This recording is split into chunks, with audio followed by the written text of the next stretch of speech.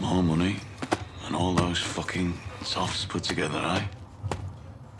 And you're willing to gamble it all on one robbery?